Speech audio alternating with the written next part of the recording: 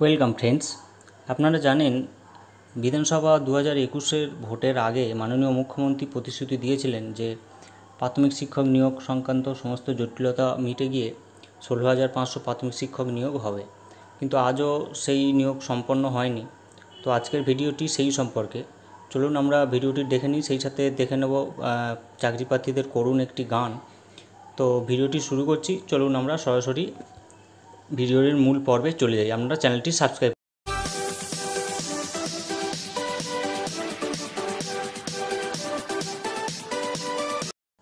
প্রাথমিক শিক্ষক পদে কাউন্সিলিংয়ের দাবিতে গণ টুইট অভিযান শুরু করেছেন চাকরি প্রার্থীরা। তো এটা গতকালও হয়েছে, আজকেরও হয়েছে। আজ নিয়ে দ্বিতীয় দিন। তা চলুন দেখে নিই। কলকাতা হাইকোর্টের নির্দেশ অনুযায়ী প্রাথমিক শিক্ষক নিয়োগে আর বাধা নেই। তা সত্ত্বেও অন্তত ন হাজার চাকরিপ্রার্থী নিয়োগপত্র পাচ্ছেন না।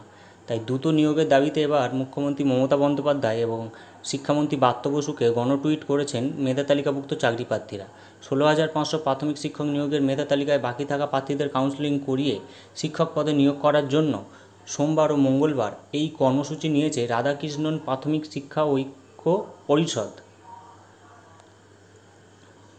এর আগে রাধাকৃষ্ণন প্রাথমিক শিক্ষা ঐক্য পরিষদের পক্ষ থেকে মন্ত্রী পরিষ অধিকারীকে স্মারকলিপি দেওয়া হয়েছে।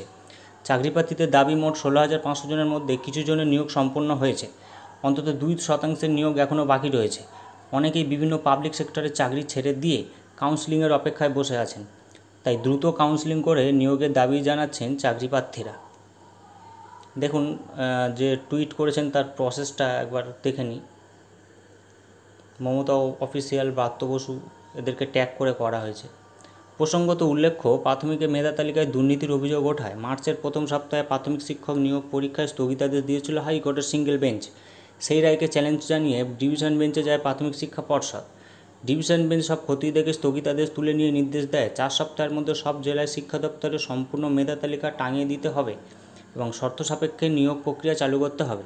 সেই নির্দেশ অনুযায়ী মেধা তালিকা প্রকাশ করে প্রাথমিক শিক্ষা পর্ষদ। কিন্তু এর মধ্যে বিধানসভা ভোট চলে আসায় পুরো বিষয়টি নির্বাচনী আচরণবিধির আওতায় এসে যায়। শিক্ষা পর্ষদ তাই এতদিন নিয়োগ করেনি, যদিও এখন আর নিয়োগে বাঁধা নেই। এটা ছিল আজকের নিউজ। এবারে আমরা তাদের প্রাথমিক শিক্ষা চাকরি প্রার্থীদের একটা করুণ গান আমরা শুনে নেব। চলুন।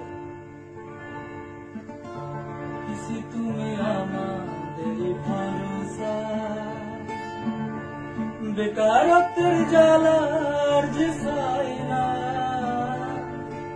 পিসি তুমি আমাদের ভরসা। বেকারত্বের জ্বালার যে না আবার ঝিঙ্কুটাও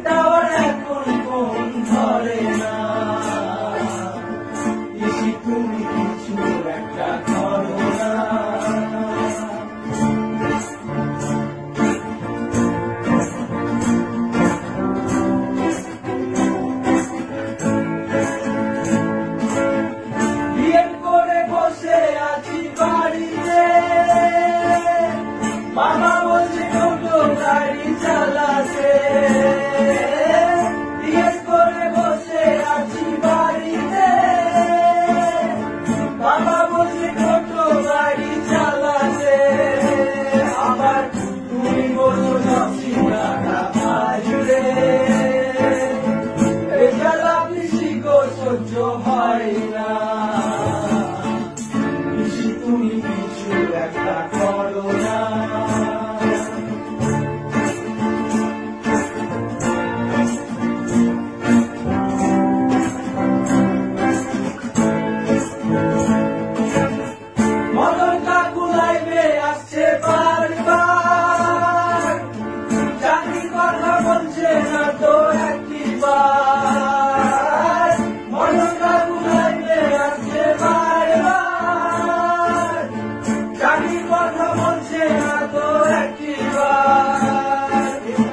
আমরা যদি ভোটাম পাল্টে